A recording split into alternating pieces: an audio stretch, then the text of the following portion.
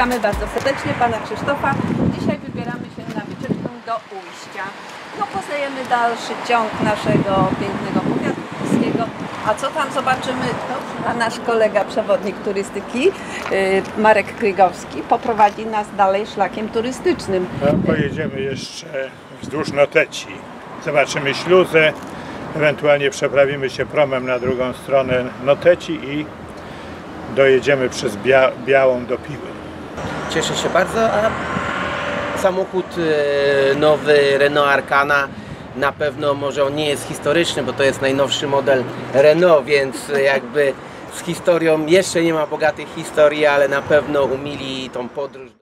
Około 110 tysięcy, bo wszystkie są w automacie, wszystkie są bogato wyposażone. Ten, ten akurat to jest nasza wersja RS Line mikrohybryda w najbogatszym wydaniu, no to ona rzeczywiście full wypas 140.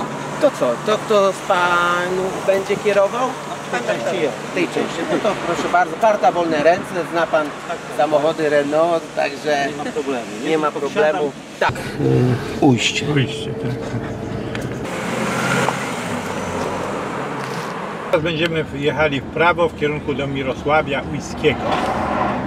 Miejscowość ta znana jest z zakładów produkujących podkłady strunobetonowe. Miały być wielki, miał być wielki rozwój, no ale coś jakoś ta kolej się już tak nie rozwija, jak miała się rozwijać.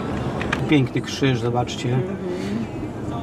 Tam jest. Marka Boska Ostrobrąska, dziwne. Może przyjechali tutaj po wojnie z tamtej strony ci ludzie. I na pamiątkę. Tak jak znaki. Tam już widać kominy tego wynalazku.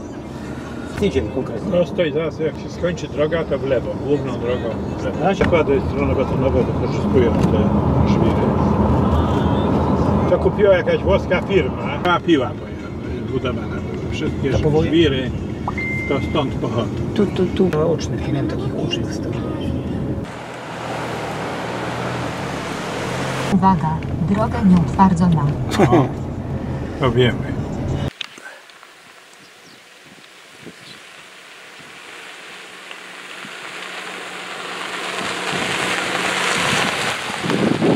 Jedna wrota, jedna wrota. Czyli coś płynęło. Tak, miesiąc temu.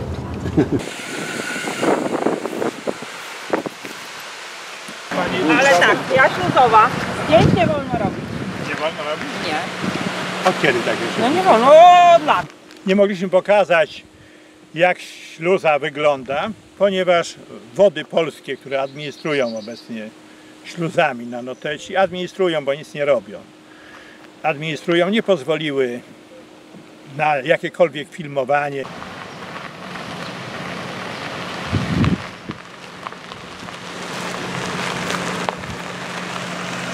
Na prom. Po drugiej stronie, jak przejedziemy, przewóz nieczynny, w sobotę i święta. Nie, jest, jest otwarte, bo Gospodarcze Noteci wzrosło po zajęciu przez Prusy, przez Fryderyka Wielkiego y, y, ziemi nadnoteckiej. Gdańsk nie należał wówczas do Prus i chciano ominąć transport do y, Królewca i postanowiono zbudować kanał bydgoski. Kanał zbudowano w bardzo szybkim czasie. W ciągu 12 miesięcy pracowało 10 tysięcy robotników. No niestety 3 tysiące z nich zginęło przy budowie kanału bydgoskiego, ale w ciągu roku kanał zbudowano. To w dzisiejszych czasach jest to prawie niemożliwością. Niemożliwe i dzięki temu powstała droga wodna łącząca Berlin z Królewcem i łącząca Odrę z Wisłą. Teoretycznie szło przez kanały dopłynąć aż do Moskwy. No niestety znaczenie gospodarcze tego kanału i całej Noteci spada, ale jeszcze przed wojną był tutaj bardzo duży ruch barek i statków.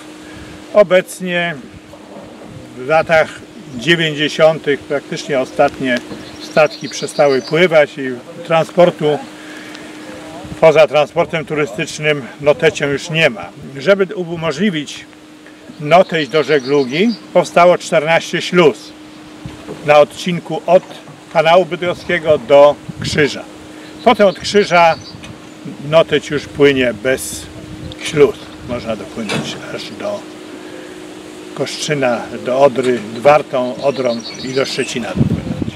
Potorfowe. Torf do lat 60. wykorzystywano w Polsce jako materiał opałowy. Jeszcze pamiętam jako dziecko suszono, zbierano torf w Dolinie Noteci, suszono, w takie specjalne kopce się ustawiano i brano do domu i palono.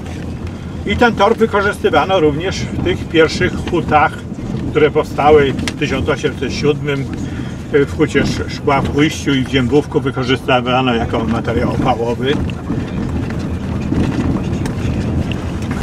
Radolin był miastem jeszcze w XIX wieku. No ale upadło. Należało do Radolińskich, Romanowskich. Romanowo, nazwa Romanowa od rodziny Romanowskich. Tutaj ten centrum wygląda jak miasto, tutaj taki niby rynek. No. Radolinek, a w Radolinku jest fajna leśniczówka. Bo teraz trzeba się zastanowić. Na, Nie, my ten, jedziemy pod górę teraz, nie? na Tam, ten punkt widokowy to wszędzie chyba w prawo. tak, tak, tak, ale tam będzie pewnie jakiś drogowskaz. Tu powinien.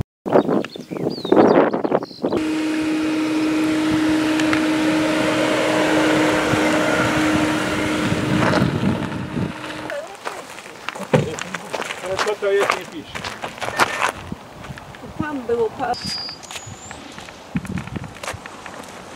Ale tutaj jak wyjechać? Benelux. Czego? Bąk. Stoja ptasia, Europejska.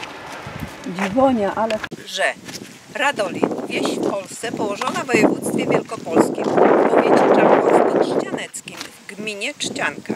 Dawniej miasto. Radolin położony jest nad rzeką Trzcinicą na skraju Doliny Noteci. We wsi zachował się dawny rynek, obecnie plac i zwarta zabudowa wzdłuż głównej drogi oraz szereg domów z początku XIX wieku. W herbie Radolina uwidoczniony jest bruk wsparty na żerdziach, który zaczerpnięty został z herbu wielkopolsko-kujawskiego, rodu Leszczyców, rodziny Radolińskich. Czy darmowe? Czy darmowa jest jeszcze w ramach Unii Europejskiej?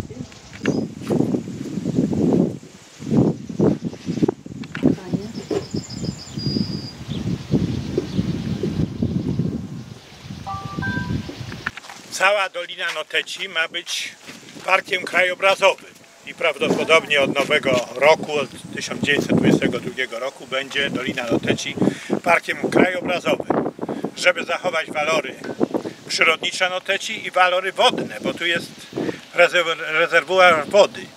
I dobrze, że nie uregulowano, według z punktu przyrodniczego, dobrze, że nie uregu- uregulowano Noteci, ponieważ by osuszono i by kolejne stepowienie północnej Wielkopolski nastąpiło.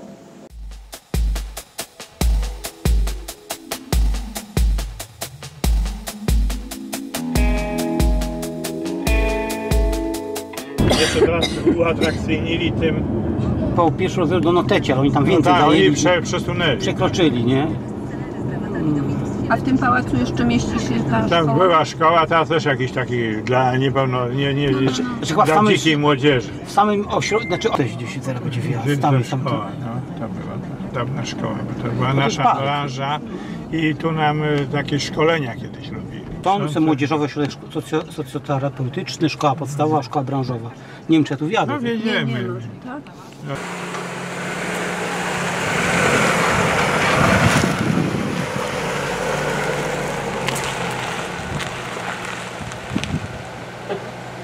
Dotarliśmy do wioski Biała, to jest ostatni punkt naszej wycieczki, która ma taki charakter i historyczny, i krajoznawczy, turystyczny. E, Znajdujemy się przed e, starym pałacem, w którym kiedyś mieściła się szkoła rolnicza, ale no niestety dzisiaj ten pałac e, wymaga głębokiej rewitalizacji. No miejmy nadzieję, że znajdzie się ktoś, kto ożywi to miejsce.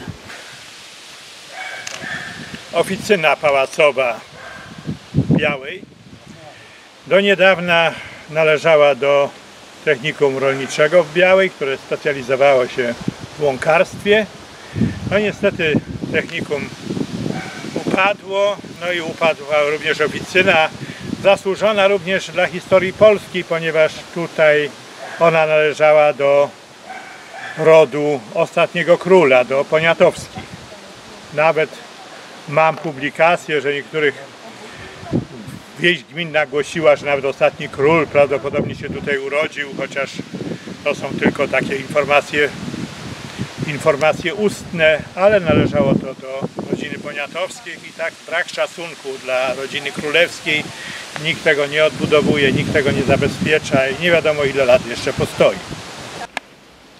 Trasa wokół Noteci jest bardzo ciekawą trasą i przyrodniczo, architektonicznie, historycznie i chciałem to po prostu wypromować tą trasę, żeby więcej osób z tego korzystało. No niestety nie można w soboty i w niedzielę pojechać, no można odcinkami tylko to zwiedzać, ale na pewno to jest najładniejsza trasa w okolicach Piły, gdzie można pojechać.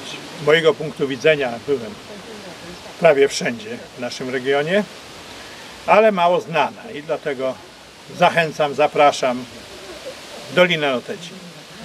Nasz wyjazd zorganizowaliśmy z grupy miłośników motoryzacji oraz klubu podróżnika przy naszym Uniwersytecie Trzeciego Wieku. Myślę, że trasa była bardzo y, interesująca pod względem i historycznym, i krajoznawczym, i turystycznym. Zachęcamy do zwiedzania tych terenów pięknej Doliny Noteci.